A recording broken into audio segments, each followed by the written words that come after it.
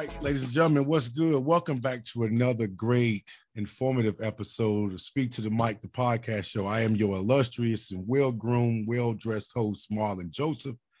And here on this platform, we like to provide helpful and informational content to our Black community. We like to acknowledge and recognize those Black men and women, regardless of profession, uh, what their what their impact is and their level of impact as it pertains to helping moving the culture forward and and really more so praise them and give them their flowers for what, what they're doing in real time for helping our black community uh, regardless of their profession. And uh, joining me today this young black brother is doing uh, ex- extraordinary things in the field of uh, finance and, and preferably in the field of stock and investments. Uh, it's not even a way to even give him an introduction, but I'm gonna do the best I can to do do him a, a great justice of giving him this introduction because he's well deserving of this. So Steven Barge, he's a founder of Tenaciti, which is an Atlanta-based real estate technology company. He's also uh, part uh, a founder of uh, BitesHub, a vending machine company, as well as Barge Consulting Group, where he has leveraged his network to build a community of over 3,000 Black investors and taught them how to invest in the stock market. He also provides business consulting services. So Steven also primarily focuses focus. He, he puts his focus in the financial realm in the financial literacy uh, area. So he basically helps other people build generational wealth, preferably in the Black community, and help them reach their financial goals by lever- leveraging the the stock market and creating profitable based uh, needed based businesses. I'm sorry for that, but yeah, this man is doing a lot of extraordinary things in the field of finance as it pertains to helping black people understand the stock market and what it means to be a black investor. Steven, I really appreciate you, man, for for being on the show. Uh, definitely taking the time out to talk to me about this. So this episode is, is strictly money talk. Let's talk money, man. Preferably how we as black people can get this money, man, because financial literacy is something that we have been struggling with for far too long. So much to a point where it's been a generational curse that we have that our generation preferably has to break. So out the gate, man, I want to jump into this to this uh, episode to talk about this. So the first question I have for you, it should it, it probably should even be the last question, but I'm gonna start off with this question. So what are some of the best ways we can start creating generational wealth from your perspective? So, from my perspective, I think uh, I preach this a lot to my community, and I think it really starts in the mind. So, a lot of people, when people start talking about generational wealth, you first have to have a mindset of generational wealth. So, uh, or, or, a mindset of abundance, knowing that it's possible. So, uh, here in the Black community, a lot of times when we speak about investment or investing, it, we look at it as a negative uh, aspect because it's like when you're investing in something, the first thing you think is a negative aspect to where, how can I not lose my money? How can I not? Versus having the mindset of how can I grow wealth through using this instrument or or this instrument to uh, make passive income. You know, so I think the big the biggest thing is removing the mindset of poverty or struggle and then kind of transition into a mindset of abundance abundance. So i tell a lot of people like making passive income or building multiple income streams it can be a little difficult. But um, some of the best ways to get started is really just having your mindset and knowing it's possible. The second thing is starting small budgeting, making sure that you're making uh, good financial habits. Um, in the Black community, a lot of times, as soon as our income raise, we start raising our expenses too.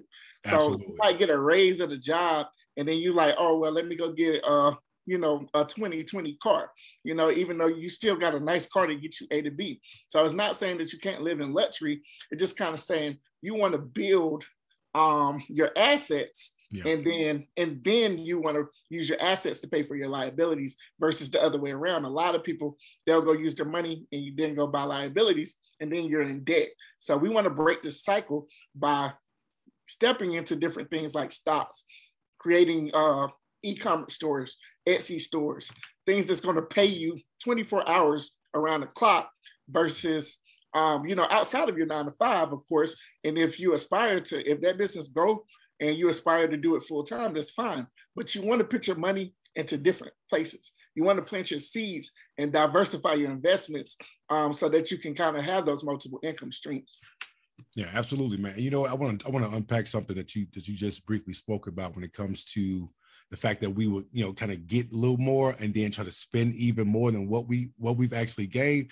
And, and, this is one of the most unfortunate facts about our community as a whole when it comes to finance or just money in general right? So we spend the most but we make the least and we save and invest the least as well mainly because we, we're oftentimes operating under, under this survival mode mindset at, at, all costs where it's like okay well you know what most of us coming from impoverished neighborhoods for the most part and we we sit here and just focus in on trivial and fixate on trivial things like you know materialistic shit that basically don't hold any value and, and, and right. don't really mean much to us just to say that we got this and somebody else ain't got it right so it's right.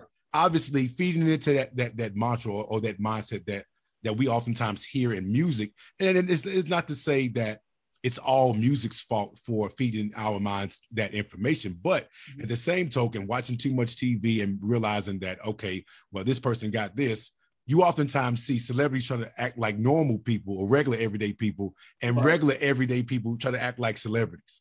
Right. And from a financial standpoint, it's like, okay, I gained a little more, but let me save a little more. But we don't think that way. It's more of a, okay, let me splurge a little bit more since I I, I got it like that at this very moment in time versus thinking long term and saying, well, let me put some more away for later because now I'm, I'm, I'm good right now. I need to be focusing on more so later when it comes to that that retirement plan or having an exit strategy of not wanting to work ever again, you know, at, at, at a certain point in time in your life at a certain age, right? But some of those things we have to prioritize and it, it starts it starts at home when it comes to that financial literacy piece and and just understanding how money works it's just and i remember reading this interesting fact about how fast the dollar leaves the black household oh, versus man. other yeah. communities right five it'll take five minutes for a dollar to leave the black household versus you know other other neighborhoods like preferably the white neighborhood it, it, it, would take probably a week or so for that dollar to, to actually move out of that neighborhood. Why? Because they're actually working together. Their, their cohesiveness is actually helping them all make money together versus mm-hmm. us. We, we sit up here trying to one up each other. It's making it a competition thing when it's like, no, it's enough money out here for all of us to eat versus saying, oh, I got more than you.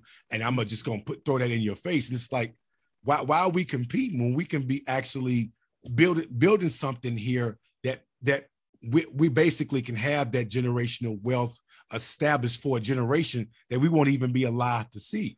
And that's the type of mindset that we need to prioritize more of when it comes to spending our money. We think, well, it's our money. I can do whatever I want. Yeah, but you're going to need that money later. Mm-hmm. And that's mm-hmm. something that we need to be more focused in on when it comes to educating ourselves about the importance of that dollar and how much it is, how much important it is to save and invest. And so, which brings us to my next point about investing. So, investments in stocks has really been growing and it, it's become prominent in today's society, especially for my uh, millennials. So, what advice would you give those who are looking to go into buying stock and and just the overall stock market in, in general? What, what advice have you been giving most of your your clients, things of that nature, when it comes to stock market? Yeah, so when it comes to the stock market, I feel like a lot of people overcomplicate uh, investing. Um, I think the biggest thing is really knowing what you're getting yourself into.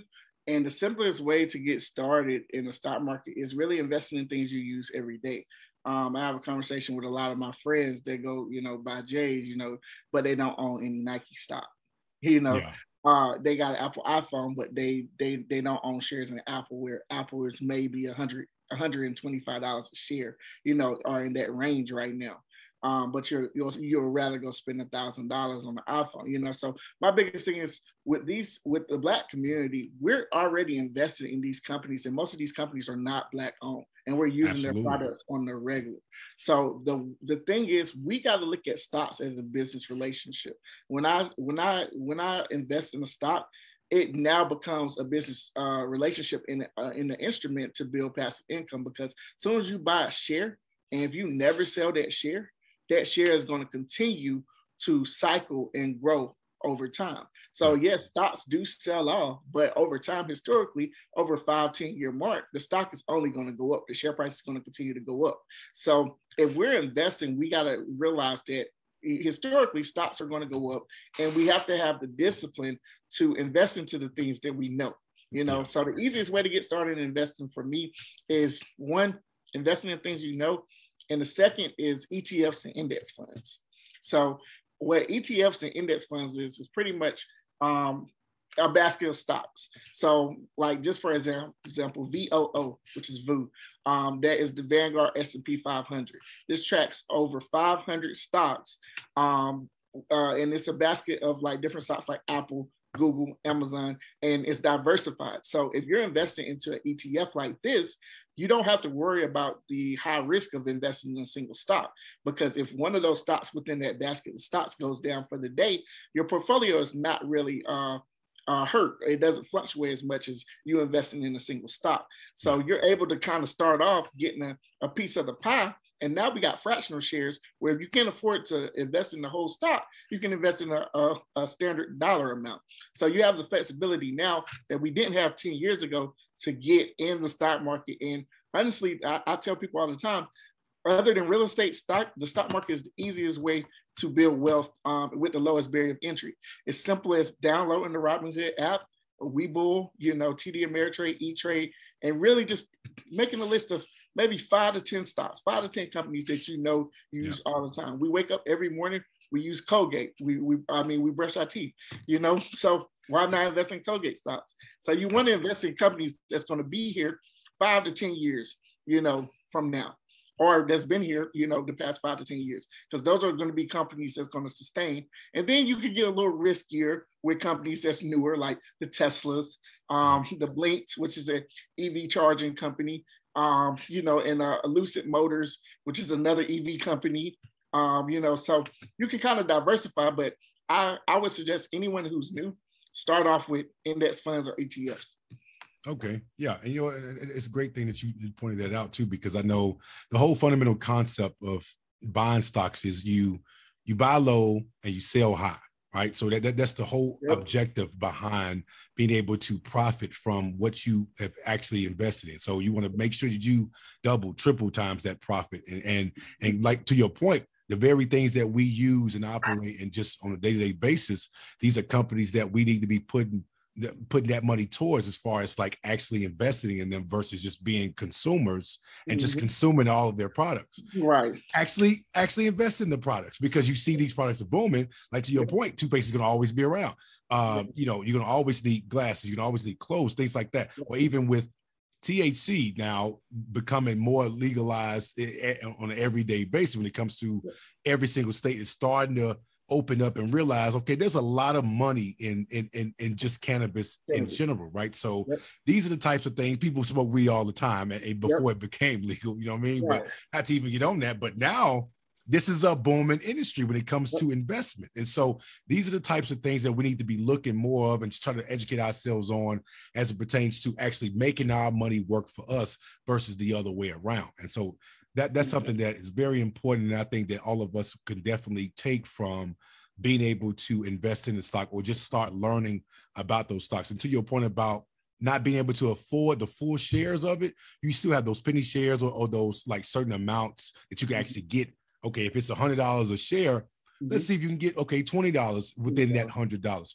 you'll still make a profit it won't probably be the same amount that mm-hmm. that a hundred dollar share would, would probably get from that profit but at least you will be profiting something, right? And it's all about taking those calculated risks when it when it comes to the stock market. It's going to be days where it's it, it's going to fluctuate all the time. It's going to go up, it's going to go down, but yep. it's all about when to sell, when to buy, things of that nature. And even for me personally, I'm, I'm learning that more and more too with the the amount of shares that I'm buying. I, I, already bought uh, shares of American Airline, Delta Airline, AMC. When, when the whole situation happened with uh, with uh, Robinhood and the uh, the AMC uh, uh, shares was going up and going down like that.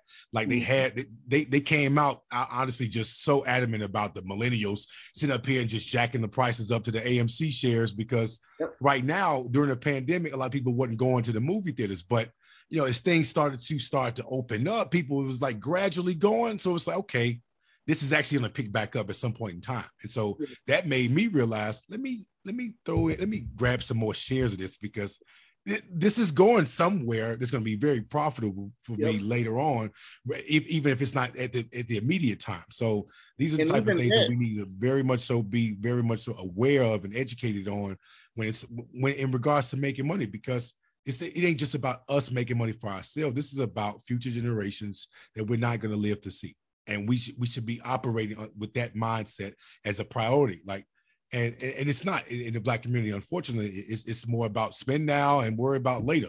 Later, that shit ain't been profiting for nothing. And mm and and even in the financial industry, we have been shortchanged and been shortchanging ourselves literally and figuratively when it comes to not being in this financial game. Because mm-hmm. in the financial game, it ain't about black and white. It's about yep. green. It's yep. about that money. So we need to be sitting here investing in ourselves and and, and buying the uh, buying stocks uh, and shares in, in, the different companies that we obviously use on an everyday basis because this is something that's going to be profitable for us now and later if we think about it. So from that perspective, that's something that we it's a priority, man. Again, the nine to five, and, and that's that's my other question going into this to this segment. So in regards to the nine to five, right? So a lot of times, and I've, I've had people even ask me this question to make sure I ask you this. Mm-hmm. Can can you actually make a lot of money in, in, investments, or it just save a lot of money for that matter, still working a nine to five, or how does it work? Can you still have a nine to five and obviously still create that generational wealth? Can you still build generational wealth with working a nine to five? Yeah, um, it might take you most definitely. Uh, I started investing uh, maybe over 10 years ago, and that's when I, I got more aggressive um, leaving college, uh, you know, into my transition into my first job in my career. And I was investing in stocks there. And I was just keeping it simple, buying shares when I would get paid like every two weeks um, and, and increasing more shares there. So, like, when I was building my stock portfolio, my goal was to uh, you know, just grow that portfolio over time and consistently invest. So if anybody is new to investing, I tell them all the time, it's not about how much you invest because a lot of people think, well, how much I need to get a profit, you know, or people are trying to make a quick flip, you know. Um, the, the, it's not about the amount; it's about being consistent. You know, um, when you're when you're purchasing these shares, you want to make sure that you're buying these shares, you know, at a decent price um, on those red days, if you see stocks in your portfolio are, are red and they're down, those are the days when you buy more. So a lot of times people cry. I tell people don't cry during the dip, buy during the dip. That's one of my sayings okay. in my group. And I mean, like if these stocks, a lot of times stocks are going to go up before they, but before they reach new levels, they have to sell off a little bit. So we have to have that financial discipline. Um, just like anything else in like fitness, uh, the way we eat, health, we have to have that financial dif- discipline also. So as far as the aspect of investing with your nine to five, you want to create a consistent budget that you can know you can invest uh, after expenses and invest in the market consistently. Now, to expand on if you're investing in uh, individual stocks or ETFs, that would be you know up to you. My my take is you know to invest in ETFs. Again, what ETF stands for is exchange traded funds. So um, he spoke about a lot about the cannabis industry. So the cool thing about ETFs is you have different ETFs for different industries. So QQQ follows NASDAQ, the top 100 stocks in NASDAQ. So if you want to invest in tech, which I'm, I'm a big tech guy, so I invest heavily in tech, I invest in QQQ. Um, if I want to invest in cannabis stocks, you have three ETFs, uh, maybe more now, um, but you got MJ, uh, which is a, a, cannabis ETF that that actually ha- allocates a lot of uh, cannabis stocks uh, within it. Um, you have Pot X, um, and you also have YOLO, um, Y O L O. You know, so you have ways to diversify your income into these different sectors. And as marijuana is getting legalized, these uh, ETFs are going to grow over time. You know, so it's, it's different ways that you can kind of go about it, but you can definitely invest with a nine to five. You don't have to quit your job to invest or trade or whatever. Um, you just have to be consistent. And if you're buying shares, if you're trading, trading is totally different from investing. So a lot of people are options trading is kind of a trend right now. A lot of people are trading options, but I tell people always start off with stocks first. Yeah, that's going to be what you want to want to do. Okay, yeah, and you know what? A lot of times too, most of us in the black community get discouraged off the fact of thinking that oh, you know, buying shares and, and being invested in stocks is basically for rich people, right? But mm-hmm. everyday working people like you, like me and you, we can actually profit from it too. Maybe yep. not as much as they do because they actually they they put more money into right. uh, investing in those those shares and, and, buying those shares and things like that. Versus us, we're right. looking to make relatively you know some some decent money, but obviously if if the stocks if it shares like five thousand dollars a share, they can make plenty money off the off that profit by buying plenty of those shares. Versus us, we're looking more the lines of okay, fifty dollars, hundred dollars, but it's being able to budget a, mm-hmm. set, a set amount of money from your everyday nine to 5 mm-hmm. uh, and saying, okay, you know, I'm gonna take this amount of money and just put it in, into the stock market and buy shares from just with this money. And as right. it grows, then should that amount that you put in should grow as well mm-hmm. because you it's an investment. You're buying shares to make that money work for you and bring you back even more than what you put into it. And so yeah. that's something that we have to always be constantly focusing in on and basically just monitoring on an everyday basis. And I know a lot of times monitoring it can be time consuming too, and it can just freak you out when you're seeing shit just going up and down. Like, okay, uh, do I buy any more? Or do I need to sell it right now? Is this not going to be profitable for me? And people get discouraged from that aspect too. And even even still, like to zone in on one specific types of uh, one one specific type of sharing. So with Bitcoin, so cryptocurrency in general, it's oh, been something that's been booming. I know for me, I remember when the uh what was it was Bitcoin when Bitcoin first started out a few years ago. It was pennies, literally, literally pennies on the dollar when it came to the shares. Mm-hmm. I look now, it's like sixty thousand dollars a share. And I'm like, damn, why in the hell did I not buy those shares when I had the time and opportunity to do so? And so mm-hmm. for me, the, seeing how fast cryptocurrency has become very, very prominent and very popular when it comes to buying shares and just being able to hold off and being patient with the market because it's, it's so many different types of cryptocurrency now. It's like, okay, listen, the next one is going to boom go ahead and buy hundreds of shares of those penny shares right now because it's going to profit later on. But we mm-hmm. don't always we're not patient with the with our money. We're not patient in general. So it's like I don't want to wait two years. I don't want to wait five years. I want to make this money now. It's like this instantaneous mindset. We have to break free from this shit because that's been so detrimental to us. It's like we, we, we're living in these microwavable times it's like, oh, I want this shit happen right now. And it doesn't work that way. We yep. have to develop some patience with any any damn thing that we do. Now, I always say this in almost every uh, episode I've done is that Rome wasn't built in a day, right? We have to be able to maintain that patience and say, all right, I'm gonna I'm gonna hold off, and when I see the right time to buy or when to sell, that's when I'm going to do that versus I want to do it now. I want to make money now. It doesn't work like that, especially in the stock market. So, what do you say for people who are looking to get into that mainly from a cryptocurrency perspective? So, just talk a little bit about that. So, the biggest thing with crypto is so I want to explain what crypto is uh, for the people. Yeah, that's another question I was going to get to as well. I, I meant so, to ask that first. Yeah. Yeah, no problem. So what crypto is is pretty much is peer to peer. It's a peer to peer exchange. Um, so what a lot of people refer to cryptocurrency is being traded on the blockchain. So what we call the stock market, oh, for the crypto, we call it the blockchain. So the blockchain consists of um, transactions which are called smart contracts. So smart contracts, they are they they they pretty much manage how uh, the cryptocurrency is bought and sold, and these transactions are heavily encrypted. So like transactions in your bank account, we know you know what date it was uh, transacted or when it was sent. It has a reference code, things like that. But uh, cryptocurrency transactions are a little bit more secure because of these smart contracts. Um, so if we're looking at cryptocurrency, we're we want to look at it as for one, right now it's non-regulated. So non-regulated means the government doesn't have their hand on versus the stock market. So the government has the, a big hand on the stock market uh, because financial institutions are invested um, as well as uh, you know big banks and things like that.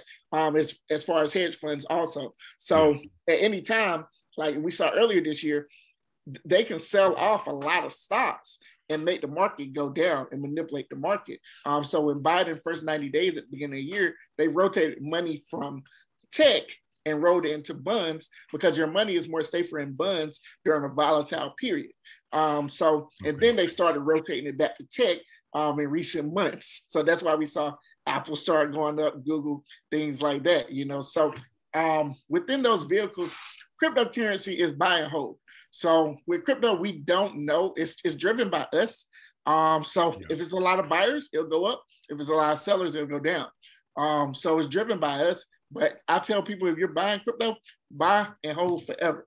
Don't don't try to time the market. Just get in the market. Buy some shares, hold it, do research on the company. Um, it's a lot of shit coins out there. Um, shit coins are things that's not profitable, businesses that's not profitable. So make sure that you're kind of diversifying and making sure that you're going to invest in the correct vehicle, you know, because at the end of the day, this is your money. So if you're not educating yourself on what you're investing in, you're kind of gambling, you know. So with crypto, it's buy and hold. Like if you're going to get Bitcoin, you'll buy some today. When Bitcoin goes red and it's going down again, you'll buy some more when it's going down. Um, you can also use a thing that's called um, oh, I forgot the name of it. We'll come back to it. But okay. um, pretty much it's it's pretty much you're investing consistently. So let's just say you do two hundred dollars this week. Let's say Bitcoin is down, um, dollar cost average. So let's just say Bitcoin is down next week, but this is your week to invest your two hundred dollars. Maybe you invest two fifty since it's down, and then once that Bitcoin re- recovers and goes up, it's going to grow that portfolio a lot more quicker. So you want to invest on the lows, on the low ends, and then just be patient. Um, I think you spoke a good fact on instant gratification. In the black community, we always want something quick. I don't know. So I don't, so make it clear, I don't trade Forex. I don't knock anyone who do. But Forex has scarred the black community because the thing is, with my group, I teach people on how to invest long term as well as options trading. But the first question I get is people ask me about my course. They're like, is it a monthly fee? So that automatically, let me tell you, that tells me you've been trading forex because a lot of times forex has forex is good. Forex been around for a few years. So the actual trading of forex on like E-Trade or a certain account, it's nothing wrong with that. But the multi-level marketing schemes that's out now, which is like iMarkets Live, um, and these people that's acting as financial experts, they're really it's a recruiting game, you know. So yeah. if I bring in five people you get your membership free and they're making money off bringing in people versus educating people on the skill so it's more people making money off recruiting versus the skill and that's that's something that i do want to clear up in the black community anytime you mention stocks it is it has nothing to do with forex um, I think a lot of people confuse that. So stocks and forex is different. Stocks is the trading of, of just companies and being able to invest in companies and uh, be a part of their appreciation or long-term growth. Um, as far as um, forex, you're investing. It's a foreign exchange market, so it's kind of just like if you're going to, out of overseas. Uh, currency changes every day, and the value changes. So you're you're investing in one currency, and pretty much you're exchanging it for another currency when that, that when that price is at, at a, a, higher value. Um, but it's two separate things, and I, I want to clear that up because it's a lot of confusion. A lot of people be like, "Do you trade forex?" Is there a monthly fee or anything like that? It's like no. Uh, with my investment community, uh, only thing we do is focus on stocks. Um, yeah. I'm real big on people bringing building long term portfolios, just because that instant gratification, like you're not. People want to invest in stocks today and make money tomorrow, and yeah. it's not. It doesn't work like that. Companies don't grow that quick. The typical company usually takes five years to be profitable after being on the stock market. So you got to think. You got companies like WeWork um, that's been on the stock market for years is still not profitable. So these companies, and that's when you're looking in your fundamental analysis or fundamental uh, fundamental game on like maybe Yahoo. You're looking at their debt, you're looking at yeah. income statements, you're looking at their cash flow, and if these companies aren't, you know, if their balance sheet aren't isn't showing that the, the cash flow is positive, these companies are struggling to still be financial because they allocated some shares to investors. They uh, allocated, you know, early equity to investors that they're trying to make up for for funding that company. So sometimes what we want to do is when I invest in stocks long term, I tell people think about five to 10 year growth. When you're looking at these ETFs or you're researching a stock, go look at the five year growth, look at the one year growth. and look at the percentage and think, hey, if I would have put a thousand dollars in my account or a hundred dollars in my account, this is how much it would have grown. And, and if you go do that, that makes you realize how powerful the stock market is. You know, so uh, I think we talked a little bit earlier about my story and how I got started in the stock market was I was I so I went to a small HBCU called Voorhees College in South Carolina, Denmark, South Carolina. My accounting professor happened to be a trader. Now, as far as my my childhood background, I grew up not knowing about anything but save. My mom used to say save, save, save. No one never taught me how to invest. Um, I grew up in a, a, single parent household with five boys, um, where we grew up on, you know, Section Eight welfare, things like that. So investing wasn't something that was big in my in my family. You know, ownership wasn't something that's big in my family. You know, generational wealth wasn't something that was taught in my family. So seeing these aspects growing up, it triggered something inside me to where I'm like, yo, I have to educate myself on business. I want to learn how to build businesses because I see people that own businesses, these people are successful. So the people that are around, you know, they kind of influenced uh, me growing up, you know, influenced the, the way in the path I took.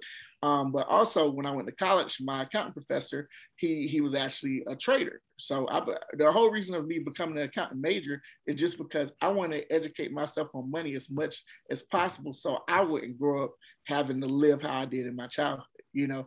And so I use that fuel or of that struggle to kind of manifest into like what the life that I'm living today. So, you know, and even picking up some pieces and some seeds, you know, with my accounting professor being a trader, he actually, you know, kind of educated us on stocks, long-term investing, intrinsic and extrinsic value, um, options trading, um, and a lot of other aspects that I teach within my course now, but I didn't take it seriously because I was like 16 and 17, you know, so a 16, 17 year old kid, I'm no, thinking you, about you don't take like, it like that seriously. You, you yeah, thinking exactly. about money right now. You ain't thinking about money later. Exactly. Exactly. Exactly. But it's crazy because I was 17 with the same mentality some grown adults have now. So my mindset was like, if he got all this money, why is he here? Why is he a teacher? Right, exactly. Why is he doing this? And it's a lot of people that, you know, that may not know me personally or they might see, they might look for things and they'll be like, well, if he's teaching all these people, he's making all this money on courses, well, uh, or you educating people on the stock market and making all this money, well, why doesn't he have this? Why doesn't he have that? And what's crazy, the, the, all that materialistic shit will really just screw your damn mind up. And it's like, listen, you realize yeah. the the most wealthiest people in the world don't don't show their wealth off. You know what I mean? Yeah. It's like Bill Gates, uh, even Warren Buffett still drives a fucking town car. You know what right. I mean? It's like it's right. old town car. At that, it, it, it, I remember seeing this meme um, of a picture of Bill Gates and Warren Buffett. They, they were at some type of event, and it was like I think it was like over a hundred billion dollars in this picture, and not one Gucci or Louis Vuitton right. belt shown yep. anywhere. I was like, see, that that's not that's not even just money. That's wealth. It's not that's not rich. That's yep. wealthy. And, and that's a big difference between being rich and being wealthy. And it, a lot of times people want to want you to display your wealth yep. off of the car you drive, the clothes you wear, the jewelry that you rock. And it's like, wait a minute, you, you do realize a person can be wealthy without actually showing any of this materialistic shit off, right? I mean, we, we oftentimes it, equate that that so, whole materialistic aspect to it being wealth. A lot of times we find people who do shit like that living beyond their means. Yeah. And that's a bigger issue to deal with in the black community as well, because it's like we make this much, but we're gonna spend even more than what we make per per per week, per month, or per year. It's like, okay, but where did all that money go? Now you have spent all this damn money. What do you have to show for it?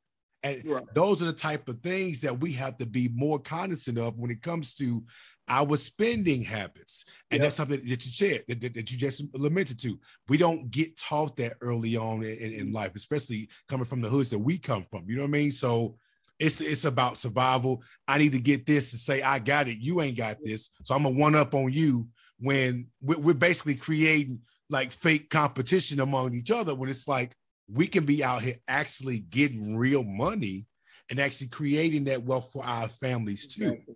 versus yeah. spending it on wasteless shit that that's that ain't gonna be of value later you know yeah. what i mean and, and, i always think back not to even go off on a tangent but i always think back on income tax season, right? I always think back oh, on on or even recently the stimulus check. So I'm I'm I'm gonna give you this this real quick story that, that I, I found so daunting, funny, and unfortunate at the same time. So I was going to Walmart one day, um, and this was right around the time when income tax uh the income taxes came out and the stimulus checks was coming out to people who, who obviously were furlough or lost their jobs or whatever.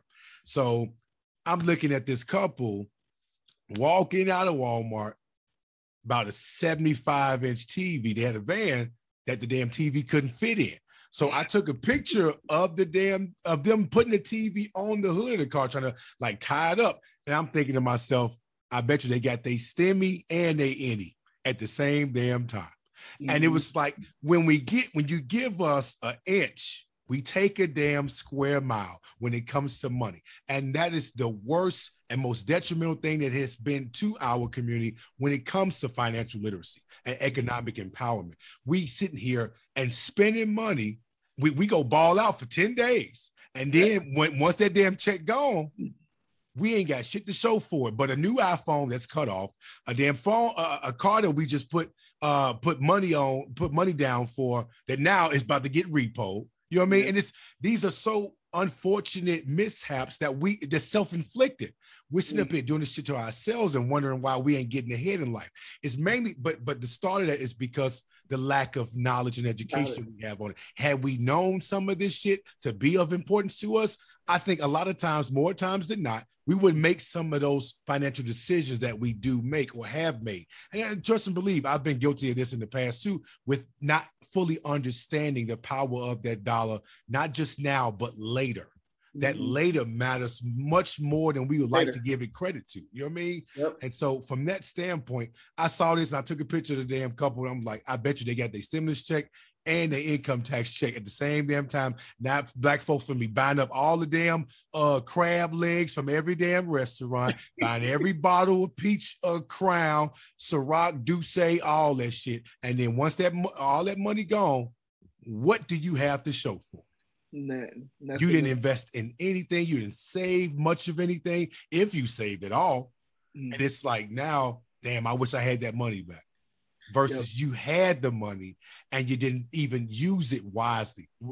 Forget spending it because our, our first mindset is spend 1st mm-hmm. That we have to break that cycle, man, because a lot of times we're we're we're, we're operating in survival mode. I got to get this. I got to get this now. It's that instantaneous mindset that has been screwing with us for far too long. And it's been passed down to generation to generation to a point where our current generation now, we're spending so much time having to fix the past on mm. top of trying to reserve the future too. Right. We don't have enough time in the damn day to do yeah. all of this at once. And I want to I want to give a quick spill on inflation and the banks real quick too, just to share this too, because yeah. a lot of people didn't realize this during the pandemic.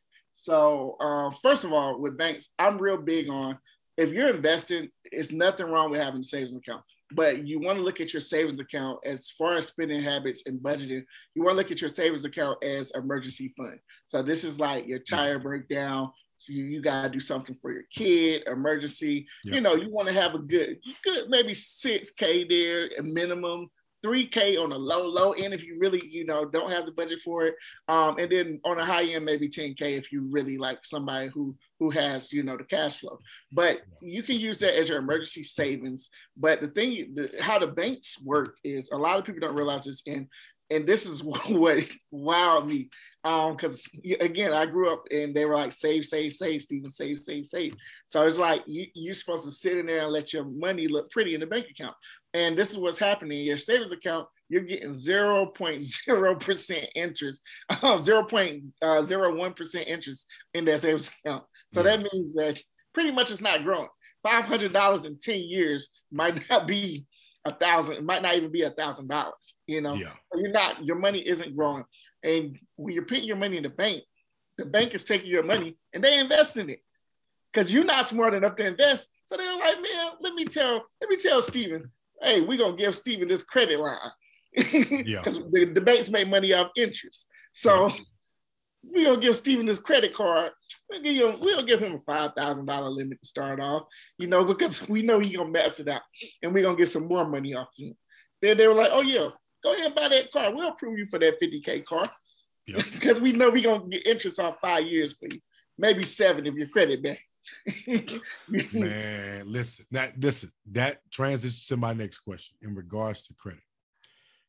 So before I ask this question, I want to qu- quickly say this too. I remember seeing this video of this older white guy talking about the, the importance of credit, right? So he said that his ba- bank cards are probably the most detrimental thing to ever give anybody because you're spending your money and you're not getting nothing but what you paid for for, for that product, right? So he said, honestly, when he uses his credit card, he pay it off and his credit score goes up each and every time he pays it off. So he's he's using the uh, the, the credit uh the credit uh the creditor's money exactly. to pay to buy all these different things versus using his own money. You use your own money, you're, money. just buying the product and then that's that, that's that. You're not gaining anything from that except for what you purchase with your own money versus purchasing that same item with someone else's money Mhm. and being financially literate and understanding that okay, you have this five thousand dollar limit. They don't mean go to five thousand dollars. Mhm. That means take a certain amount of money per month that you can actually manage and and use that money and then pay it off before that that that billing cycle comes around that it's going to actually accrue uh, add that interest to that and so he said i do that every single every single day i don't pay i don't pay i don't use my own money to pay for anything i use their money and then I pay it off. And then my credit score keeps jumping up higher and higher. And guess what happens? The more your credit score jumps up, the more the more of that credit limit is going to jump up now. So now when you're in that 800 bracket, that uh, 800 bracket, now you're part of a club where you get unlimited amount of money given to you because they know that you're spending it financially. You're, you're financially responsible with it. Yep. And so they're trusting you with their money, knowing that you're not going to even accrue any interest on this because you've already paid off this bill before the Mhm. billing cycle comes around. Mhm. That that's the financial literacy piece that we're missing so much of. And so so getting to this question, how important is it for us to establish good and well, not even good, great credit? How important is great credit? Whew, man. That's a It- lot. I know. It's I know. important. nah, nah. I, I love this because I've actually lived it, and I'm someone like I like I like I like I like your show because I can be transparent on here. You know, Absolutely. gotta be real. You know, I don't got. to I've been on podcasts where I gotta muddle. You know, not No, no, man. You ain't listen. You ain't got to church shit up on this Yeah, show, man. This is exactly. unfiltered, uncensored, and unapologetically black about the shit. We Exactly. talking real talk to our black men and women out here who need to hear this information. Speak to the mic, Steven. Go right ahead, man. Yes, sir. So with credit, so my personal experience with credit is I didn't know anything about credit. I'll never forget in college, I went and I was approved for a Macy's card and a Gap card. And my girlfriend at the time, she was like, Yeah, we gonna go ahead and get it. We gonna spend it all. we gonna pay it off together. So I had maxed this card out. I didn't know anything about credit. And this thing was dragging my credit down for like maybe a year, two years until I got in corporate, got a little educated. So I, I don't know what my credit score was, but I know I was pretty much in the low 500s.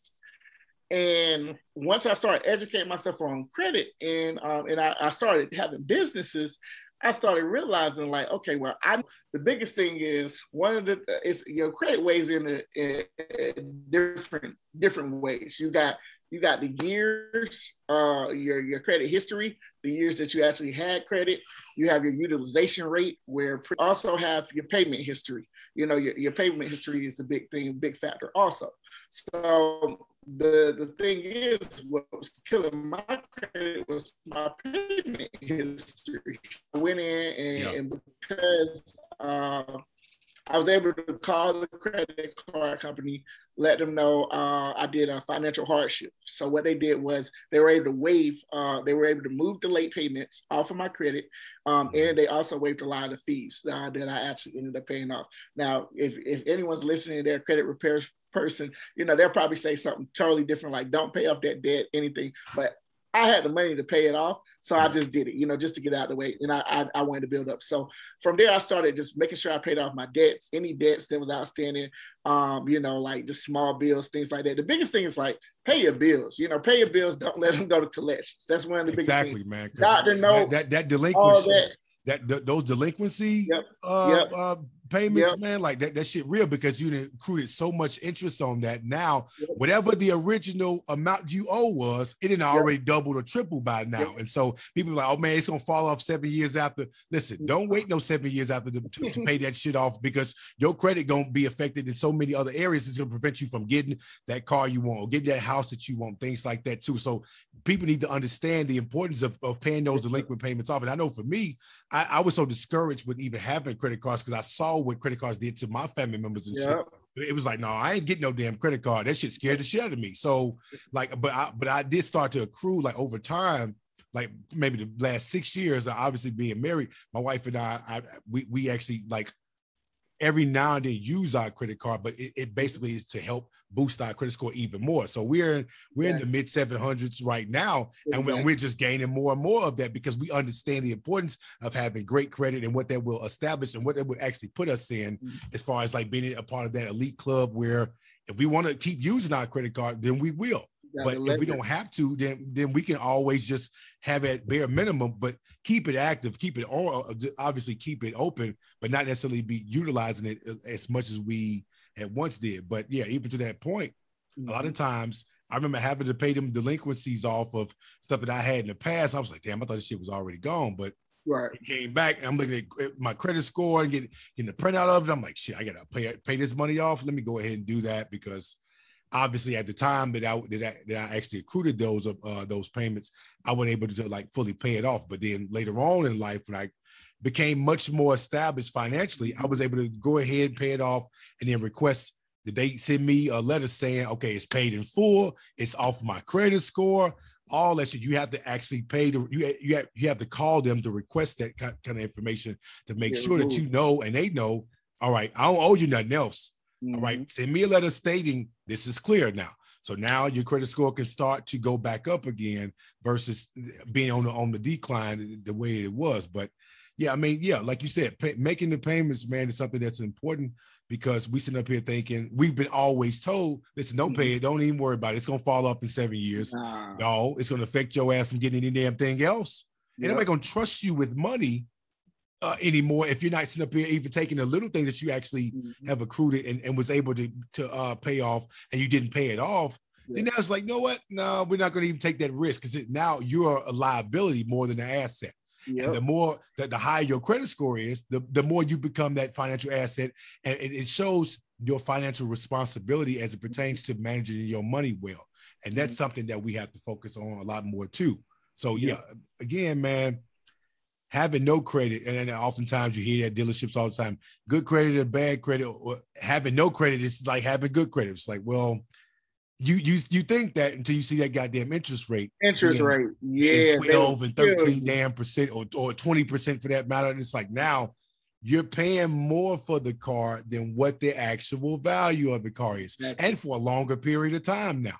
Exactly. And so these are the types of things, man, we got to be more cognizant of when it comes to establishing good credit and then being able to pass that good credit down to your kids too. Because uh, part of that video that I saw about the white guy uh, explaining that, he said that he got to a place where he even put his kid, his his credit was so great.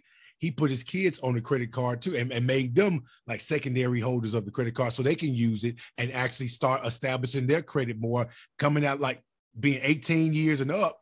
They already Yep. establishing good credit at an early age because they were already taught that at an early age versus learning this shit later on in life, like most of us have done. or your mama putting the cable bill in your name. Oh man, shit. That, that, that, that is a black that, that that is the black community aphrodisiac right there. You need to put the cable bill, the light bill in your kid's name. Yeah. You know already screwed their damn credit up before they turn 16. Yeah. Now they already got a damn bill to pay. It's like that that Yeah, listen, I, I remember know. hearing a bunch of comedians make fun of that shit. But that shit is real though. Like Yeah. they that ain't just no joke, man. Like families have actually done that and, and done more harm than good to their kids and, and, having them to have to flip a bill that they ain't know nothing about before then. like, right. That is so damn right. messed up, man. We we definitely have to get out of that mindset and putting our kids in debt before they even reach an age of adulthood to be able to take care of themselves. And even yeah. more importantly, when it comes to like savings, right? So you talked a little bit about that when it came to having a savings account. So obviously, I have multiple savings account and I have mm-hmm. multiple checking account. Mm-hmm. And I also even start to like before my kids even were born, both my daughter and my son, mm-hmm. already I've already been putting 50 and 100 dollars away almost every damn week. And I'm right. doing that until they're 21 when they're going to have more than enough money to start off with and even have money to even buy them a car with as well so uh, yeah. taking that money and starting them a bank account when it become of age but just taking that money for right now and just putting to the side for them specifically mm-hmm. that's helping start off their life from a generational wealth perspective establishing yep. that generational wealth for my kids so they can be able to understand the importance of that and be able to teach their own kids that as well and so mm-hmm. it's the mindset of creating generational wealth for a generation that you would not be alive to see. Yep. You want it passed down. A lot of time, I remember watching this movie Chris Rock was in. He, he, was, he was, he was, I think it was called Down to Earth, and he actually mentioned something about how when a black guy die, uh, when a white guy die, he leave a will. When a brother die, he leaves a bill. Oftentimes, we we see situations where black people who who are struggling financially they they start GoFundMe accounts to to fund funeral services for their loved ones, things like that, versus having the life insurance plans, the actual having savings, having 401ks, investing, and things like that too.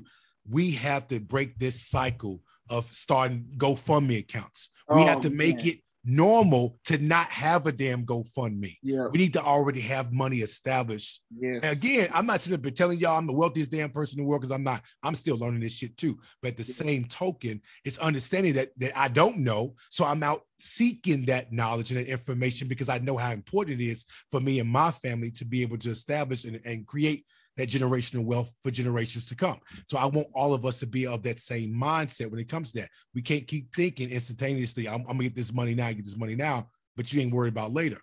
I'm not trying to be working until I'm 60, 65 years old. Oh, hell no. I'm in the prime years of my life, making great money, but I know I'm not content with even the money I'm making now. I know it's even more money out there for me to make. So right. guess what? I'm about to go get this shit. So I want all of us to be out here going to go get having that go get it mindset, man, because it's so much money out here for us to be made. But it we is. have to go out and do our due diligence and understanding the the the, the just the, the logistics of it and being educated enough so that we can make profits from this. I agree. And just to bounce back to, I know we talked about personal credit too, but once you get that personal credit right, even if you don't even have a 700 right you know right yet just get it close to 700 as possible. And another thing that's very very good especially for if you're trying to establish business business credit is a relationship. So like my bank i, I have business banking relationship with chase and i have a personal and business relationship with bank of america. So with bank of america i can pretty much go to them and get anything i want um, at this point, and that's just because I had this relationship. So uh, Navy Federal, a lot of companies they they will give you a credit line based on a relationship, not even all your credit. It's like okay, well this person's been with us for three years. They have uh, they have their car loan with us. They have their home loan through us. Uh, their mortgage. They have you know these things.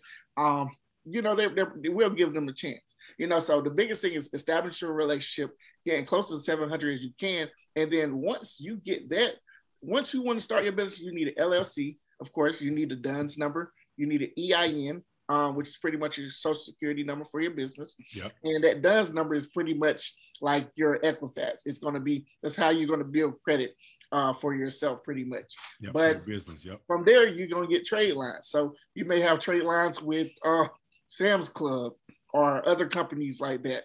That's going to build you um, business banking cards or business relationships. Um, after that, then you go to your bank and just say, hey, I have a business bank account. You open a business checking, and then you uh, from there, maybe a little bit after, maybe three months after you have some business transactions, then request a credit card. Now you got leverage. And the crazy part on the business side is they're going to give you sometimes three or six times more leverage than you have on your personal. So if you already got 10K credit cards, you're gonna get approved for 30K on your business. You know, so I just wanted to share that real quick because it's all about leverage. You may not need that amount, but it helps you out. Like um, on Monday, I'm about to close on a real estate property in Decatur. I'm not using my money for that property. I got a 30K credit line that I can use um, to pay for this property. So now I'm taking my money, investing it into assets, yep. and getting passive income. That's the way that you want to go. Absolutely, man. And you know what? And to that point about the the financial relationship aspect, so I, I actually have a, a, financial relationship with Bank of America and uh, with Delta Credit Union. So I remember back a few, like several years back, before I even like got a savings account through uh, Delta Credit Union, I was looking to like refinance my car to, to like pay off my car in a longer time, but in, in, in smaller increments, right? Mm-hmm. So, and then when they, when they, told me what my credit score was, it wasn't, it wasn't to a certain standard that that met their goal in terms of being able to like do business with them from that aspect. And I was like, you know what? Okay, well, you know what I'm gonna do? I'm gonna go ahead and open up a account with you guys so I can establish that relationship with you all, and you all can track how much money I'm keeping in. I'm doing more deposits than I am withdrawals, mm-hmm. and you're seeing that it's constantly growing. And you also, and I can come back to the table and say, okay, this is my credit score. This is what my this is what my accounts say. Tell me I, that I'm not awarded uh, a, a, certain amount of money to to uh, to do business with you all. Like you can give me a ten thousand dollar credit limit or thirty thousand credit limit to your point, and be mm-hmm. able to take that money and actually make money from that. It's yep. the point of using someone else's money to make money for you.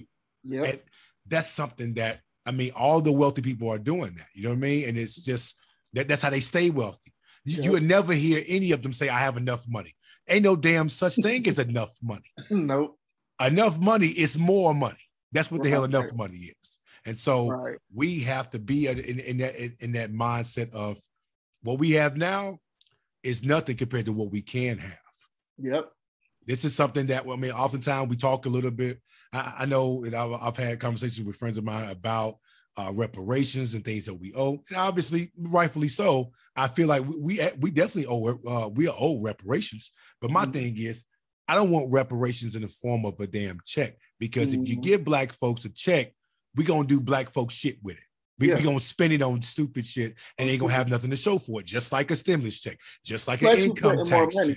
Yeah, plus you printing more money. So with the stimulus, everybody got so excited about the stimulus. But when the Federal Reserve I didn't get no damn money, stimulus, FYI. Right. right. I, I guess I they say I made too much damn money. Whatever the hell that means. I don't think I did, but maybe I whatever. I maybe right. I did. So when you get in a stimmy, everybody, you know, uh, some people need it and no fault. No, absolutely, absolutely. But the people that didn't need it are the people that abused it.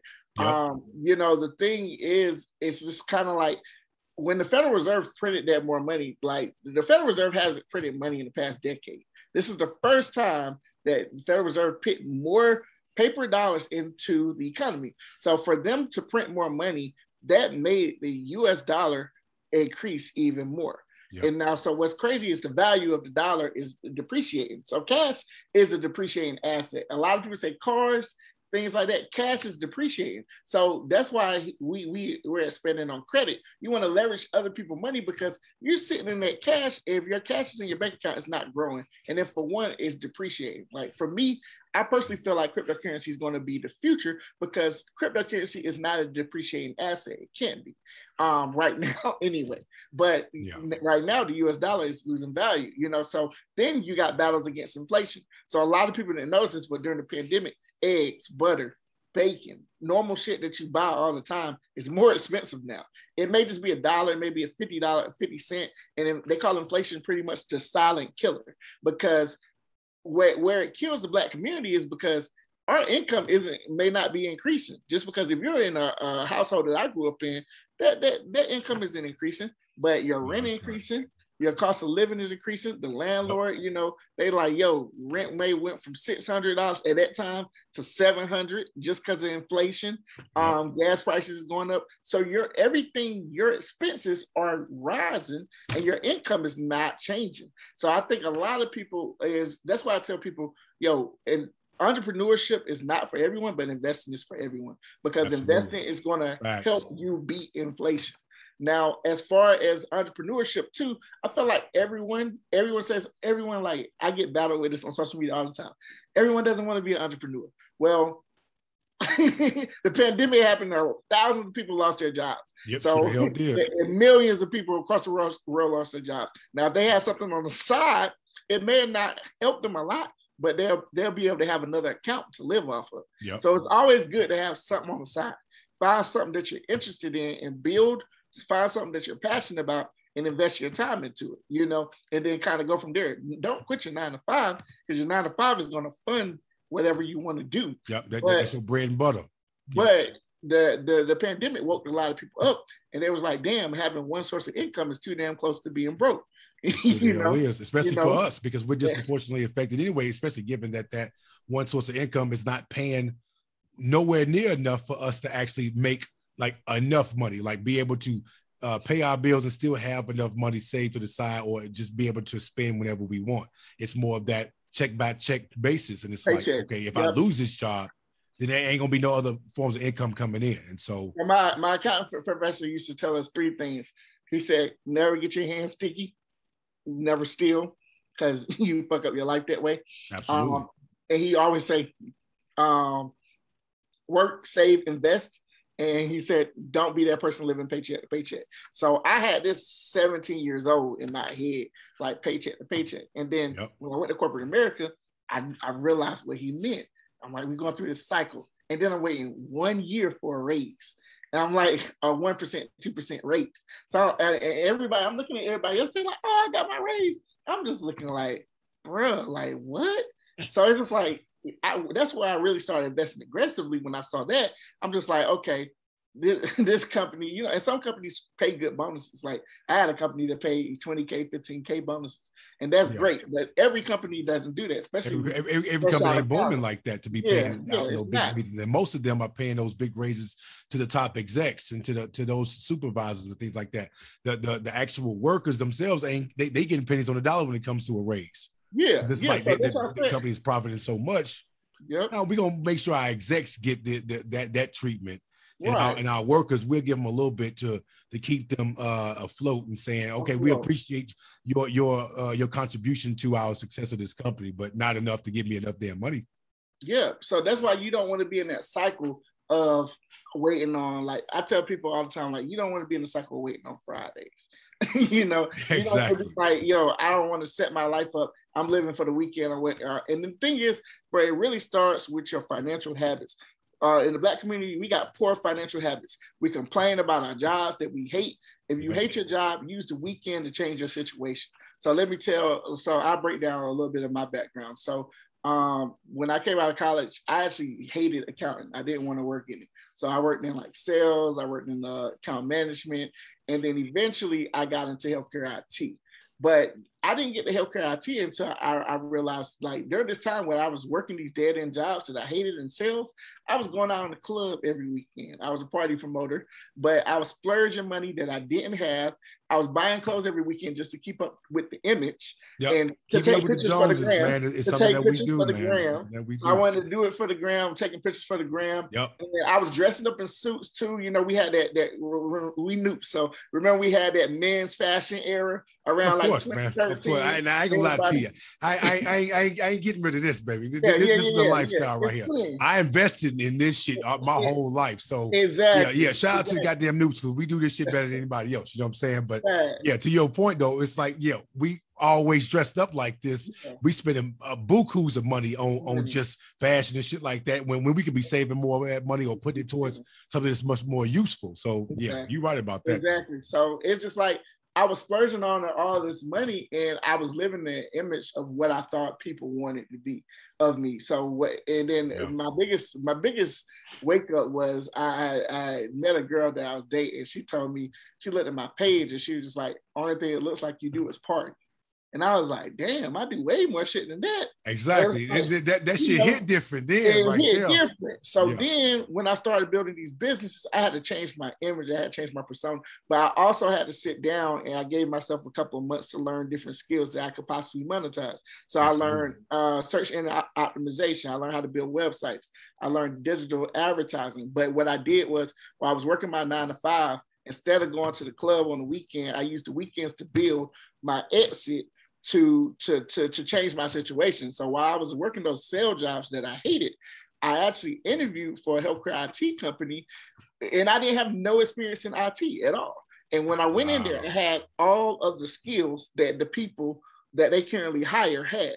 So I went in there with, you know, the tech skills that was needed for the job. Yeah. And then also, you know, with the, I had, of course, you got to have a personality too in the interview too. So your personality drives a lot of things too. It drives the conversation. So when I went in there and, you know, pretty much I, I brought these skills to the table, I like I tell people all the time, you gotta be so good where they can't deny you. You know, so uh, you know it's crazy. So it's just like when you when you bring those skills to the table, um, you know, I was able to go and get this job, travel travel over ninety percent across the world, um, and train doctors and nurses on medical software. So every literally every state I've been to, um, including uh, I also been to Alaska and I've been to some international projects too.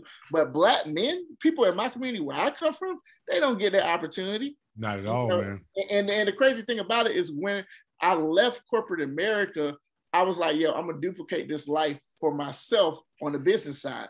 So not too long ago, we expanded on business credit. I just got recently approved for the American Express Gold for Barge Consulting Group. Wow. And that's the same card that I had when I was out here traveling for my nine to five. So I'm like, yo, it's possible for you to go out, go out here and create income for yourself and build these businesses and build the things that you want to do. So anybody listen to this podcast, I, I, I, say don't put yourself in a box. Don't let nobody box you in. You can if you if you love your nine to five and what you do and you're passionate about that, keep the job and, and, and invest. If you if you don't Absolutely. want if you don't like what you're doing, change your situation. Like yeah. pit, pit in the work to change your situation. I, I'm big on my group too. in my investment community, I tell them like the weekends, like if y'all get frustrated if you're losing in stocks, um, you're not practicing good risk management, things like that. The weekends is where you get ahead. So take 30 minutes, 45 minutes, study the market, find out what's going on.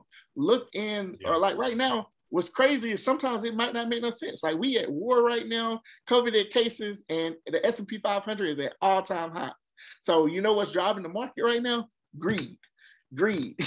Greed is driving the market because in a Absolutely. regular market, SPY would have been selling off uh, this past week uh, tremendously. You know, so it's it's different things aspects about the market that you want to educate yourself, but you don't get started by just uh, just sitting and waiting on somebody to give it to you. You got to go on YouTube. Like just like we go sit and we watch Netflix and we make time to do all this other bullshit, we can yep. make time to focus on generational wealth or building yep. different stuff. Uh, you know, I use this thing, uh, this website called udemy.com. You can go on there and find any type of skill that you want to learn on there, literally from real estate to digital marketing, um, and it's low cost. Um, if you're a business owner, you're trying to start a business, you need somebody to a lot of times people say, "Oh, I need somebody to do a logo, somebody to do this." You can use Fiverr.com. It's low cost. I, I, listen, I use Fiverr to, to actually do my uh my podcast logo. I had a exactly. freelancer uh do it for me. It was only for like maybe 40, 50 bucks. And I was like, man, it, it did it so dope. I was like, oh yeah, this is definitely going to be the podcast logo. But yeah. even to your point though, man, it's like the very three things is on on, on the back of your wall right there: hustle, grind, and execution, man.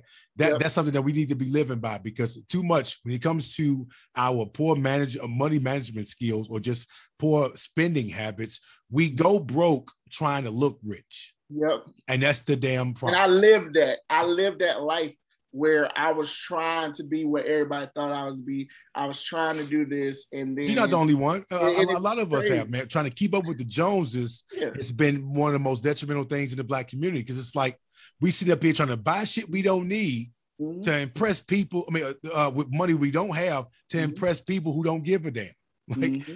It's yep. mind over matter. Like people who mind don't matter. You sit up here trying to impress somebody who don't who you don't even know or don't even care to know, and yep. they, they, don't care about what you have or don't have because it's about. Right. What you possess on the inside more than it is about this this uh this external shit that you actually want to display. Like that materialistic shit, man, it, it, it comes and goes all the time it goes. And I think another thing that I do want to expand on too is I'm gonna transition into another uh, stream of income that I just started also. But okay. but also uh, so another thing is like so like I said, I was living this life that everybody wanted me to live, and then once I got in my bag, when I was traveling the world and I wasn't, I wasn't spending no money. I was uh, when I'm on the road, I was spending my job money, and I was only in Atlanta in Atlanta on the weekends. So yeah. I may go somewhere, you know, with my girlfriend or or go out with friends at that time and stuff like that, and I'll spend a little money on the weekend. But I wasn't really splurging on nothing. I wasn't spending no money.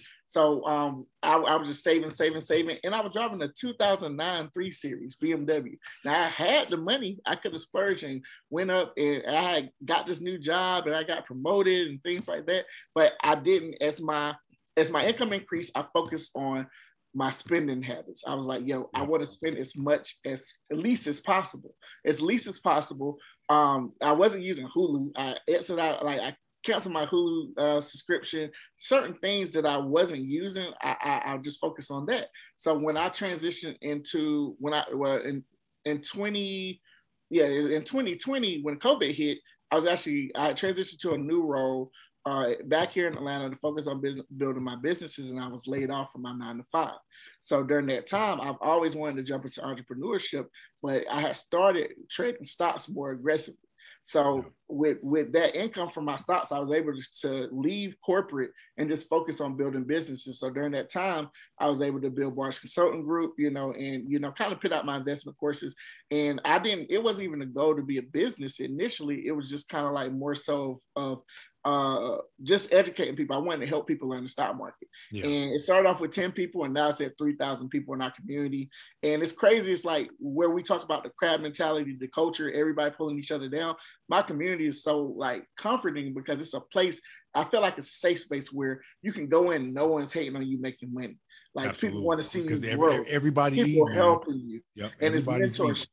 And you got the mentorship. And it's just me in there, really, uh, you know, as far as an admin, and I plan on adding other admins, but we're teaching long-term investment. We're teaching options trading. Uh, we actually got penny stocks. I'm about to add real estate soon.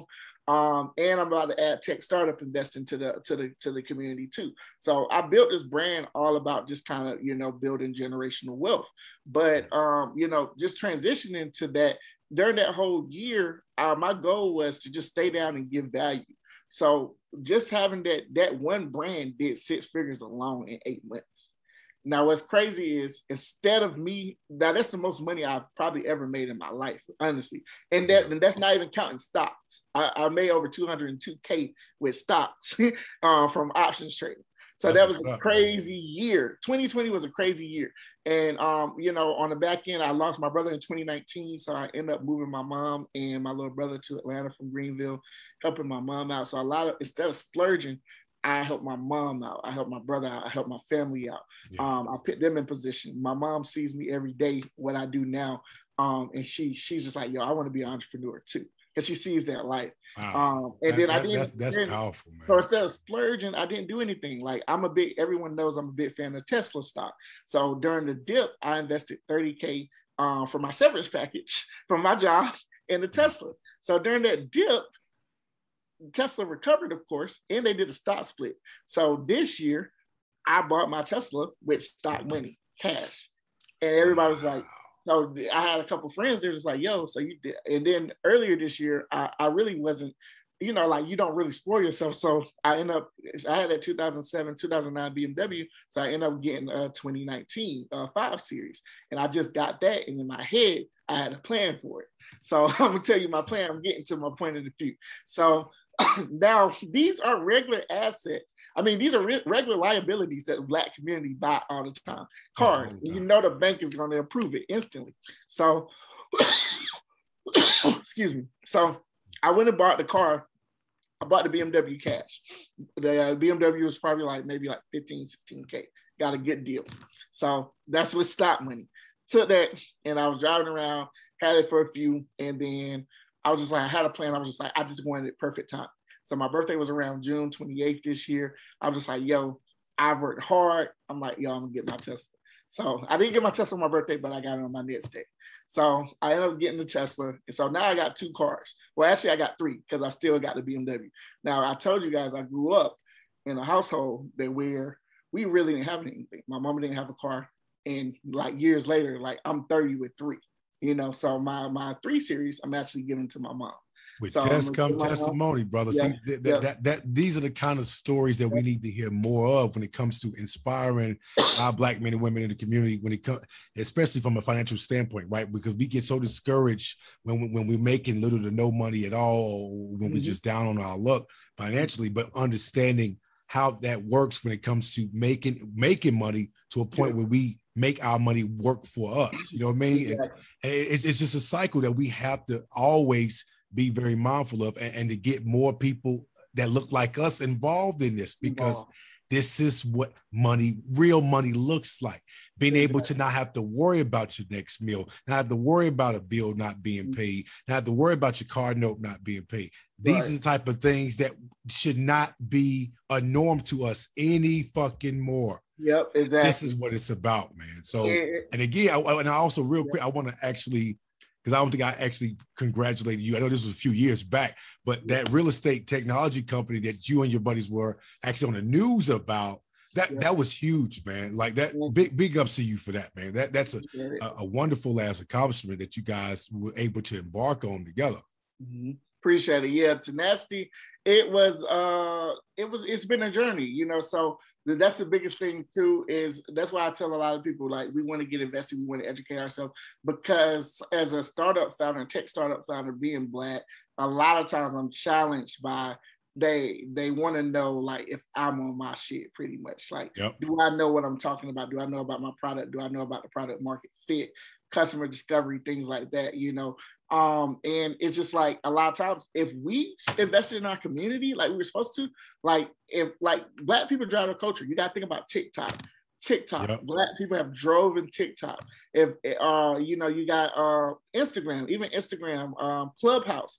Black people drove the success of Clubhouse. So we get black people. We drive all the products when it comes to being consumers, early phase but not investors though. Not investors, exactly. Man, so that, my and that's why my goal. If only we had, if only we understood the power the in power. our black dollar that we have, and just the power in our minds that we yep. we should possess Yep. We'll, we'll be a lot. Listen, generational wealth wouldn't even be an issue for us anymore. It would be huge. So my goal is with this, with my journey, it's crazy because everything comes full circle. When we first launched Tenaciti, it was very successful, went viral. However, we were trying to we were trying to reinvent the wheel. And, and, it wasn't a good fit as far as product. And I realized that during the pandemic. So we recently pivoted during the pandemic instead of having our apartment locating app, which it once was, which automated the leasing process, and we was partnering with these apartment complexes. We had a contract with Great Greystar and it was great, but during the pandemic, things changed. And what I realized is a lot of people got smart about their money. It was spiking investors, especially real estate investors. So I'm like, yeah, we have an area of opportunity. Let's create this property management, tenant management software where these new investors, they may not know how to handle a property or manage a property. Our software does the tenant screening for them, background check, um, manages expenses for the property. They can uh, submit work orders. And then on the front end, we still have our app but instead of just having apartments on there, we have condos, we have houses, um, we got town. We need to expand that, man. And then, that, and then, we, and then we're doing residential and commercial. Uh, and then also the cool thing about it is once they're onboarded onto the app and they select the property that they like, they can pay their monthly rent um, through through the platform. Um, and also, if they want to use debit card, credit card, uh, connect their banking statements, they can. And if the owner wants to, they can actually accept payment in Bitcoin which is going to be a very interesting aspect. Um, and where I'm throwing my investment twist in there too, because now landlords can grow wealth from ownership of their property, but they're also growing it through cryptocurrency at the same time. Man, um, that, so that is amazing, man. That's going to be that you guys. That's groundbreaking, man. And it, it, and it's only going to go up from here in terms of just the the amount of people and the amount of of, of uh, uh, those property owners investing in that and gaining even more money by by being landlords. That's something, and that's something my wife and I talked about too. With obviously taking some money that we've profit from, you know, buying, uh, selling our old house and, and, actually getting this house, we, we were able to, to profit a, a, great deal of money from that. Yeah. So we, we definitely want to buy other properties to, you know, act, you know, soup it up and, and, and just rent them out and become landlords from that from that perspective. So that way we're we're, we're honestly we're going to be you know generating more wealth from that from that area so yeah man listen it so so much to unpack, so much that we have gone over, and so much more that we can talk more about it in, in, in full length detail. But I want to say this: uh, it was an honor and pleasure to have you on the show. I definitely want to have you on the show again, and possibly have some of your business partners uh, who are on, on Tenaciti uh, with you, and even from your consulting group, have you guys on the show to talk more about this in depth and be able to provide more information that people can actually uh, come to you and uh, and just ask for different advice and tips and things like that too. So my last question: How can people actually reach you or reach out to you for those for those tips and advice?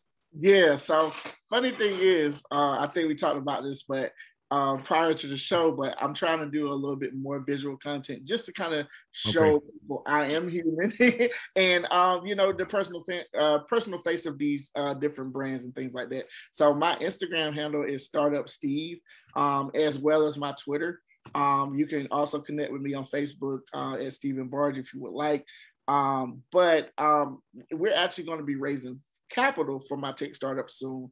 Um, so I'm actually, I know a lot of people are not educated on tech startup investing. So uh, under Barge Consulting, I'm going to be releasing a tech startup investing course, which is going to allow people to invest uh, and learn how to invest in these early stage companies. And hopefully you'll be able to be an early stage investor in Tenaciti too. So um, my goal is just kind of everything comes at the end, it comes full circle. Um, you know, um, with Barge Consulting Group, you know, my goal is to just kind of, you know, throw out different avenues of generational wealth. So again, you know, I, I think I spent on the story a little bit earlier about with the BMW. I recently, I recently, I don't need you know extra cars, so I recently just put that BMW on Turo. You know, so I'm gonna come out with a Turo course eventually, and I also partnered recently with a certified public accountant who actually has a course on the full Turo uh, business as far as a tax or how to set, uh, set up your taxes and be profitable too. So I'm trying to collaborate with a lot of different people now to kind of, of course, get my vision and my message out. But if anyone want to contact me, they have different questions about, you know, anything I mentioned, vending machine business, Turo, investing, tech startup investing, um, you know, you can reach me at uh, Startup Steve. Just shoot me a DM. Um, I usually respond, you know, pretty instant. If I'm busy, I'll follow up also. Yeah, absolutely. And I'll make sure I provide uh, your your contact information via Twitter and, and Instagram uh, in the uh, description of this show, so that way people can reach out to you, you know, with any with any thoughts or suggestions or just getting advice from you uh, in general, so that way they can, you know, understand, you know, what the stock market is like and what what to invest in and buy shares from, and just right. giving just tips overall as it pertains to being an investor, because this is something that again, we need more of our our, black folks in this because that this money making business is going to constantly make money, and yeah. we need to we need to be a part of this this mm-hmm. conversation. We need to be involved on sitting at this table making that money too, man. Because they don't want us. They made. don't want us. They don't. The GameStop situation that we saw earlier this year, uh, with yeah. the hedge funds, where the Wall, well, pretty much um, the Wall Street bets or retail investors is what they what they call us. We outsmarted Wall Street. Yeah, they didn't like that. They hated that shit. Hated I remember when I saw that, I was like, so that lets you they know pissed. they do not want us a part of the game. Not at and all. That's why I love my community because it's people in the investment community making 20k, 10k. Like one woman, uh, she was actually pregnant last year. She made 27k in a day off options trading. Wow. And I'm just like, once I see this, and, and, you know, a couple of people, it's been 20K days, it's been so many testimonies in there. Last month, one guy was just like, yo, I paid my rent. He lost his job and he paid his rent with options. from the stock market. It paid his rent. Just, he we had a one-on-one session. He was like, we actually, you know, went to we grew up together in the same hometown. He was like, yo, Steve, I want to thank you so much for this community because he was like, bro, I have been having a hard time, but I was able to pay my rent from this. And I'm just like, yo, like, and I tell people all the time, I pay all my living expenses is paid for through the stock market. I don't, I don't use so, and I want to leave this in, in closing too, because I know we're wrapping up. The goal is to take your earned income from your job and turn it into um, passive income eventually. So your job, you things that re- require your presence is earned income things that that that pretty much are active income, pretty much earn income or active income. Things that don't require your presence, like vending machine business, investing in stocks, investing in real estate, um, investing in any type of assets. And which is crazy is your car can be an asset too.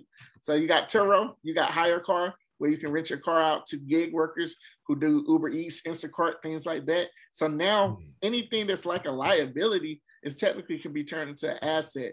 And then if you got credit, good credit, you can go buy all these things that you really want and use your assets to pay for your luxuries. So it's kind of like job, work your job, invest in the things that's going to make you more money, and yep. then buy luxuries. You know, that's the, that's kind of like the breakdown, and you can't Absolutely. lose with that. You can't lose with that. Absolutely, man. So yeah, man, it's been money talk. Uh, ladies and gentlemen, make sure you like, share, subscribe to the YouTube channel, uh, Speak to the Mic podcast show.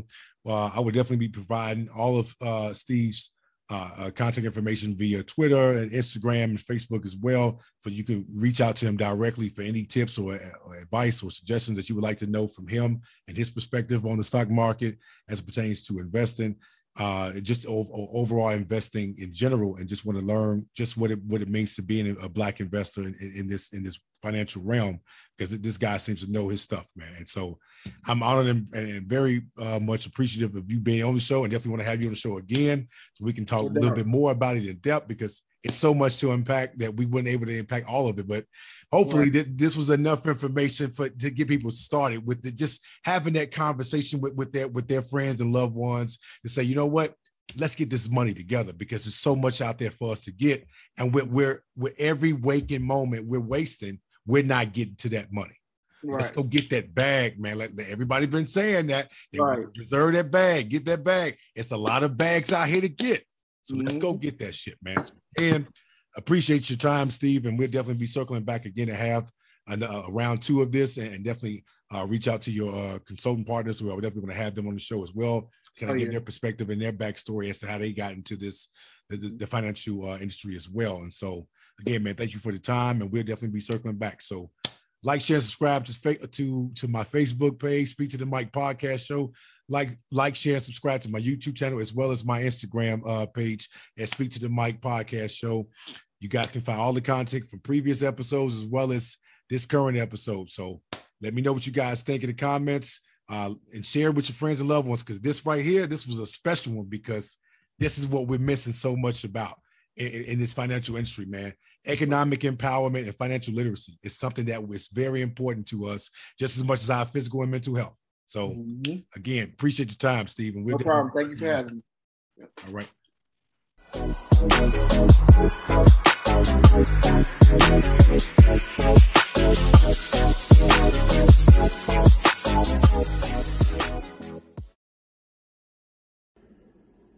If you like what you've heard from this week's episode and would like to hear more from previous episodes, be sure to like, share, comment, and subscribe to my YouTube channel below. You can also find me on social media platforms at Speak to the Mic underscore podcast show on Instagram and Speak to the Mic podcast show on Facebook. Be sure to also like, share, and subscribe to my Spotify page at Speak to the Mic podcast show. As I put out more thought provoking content, your opinion and thoughts are needed and appreciated. I thank you all in advance for your support and look forward to hearing from you soon.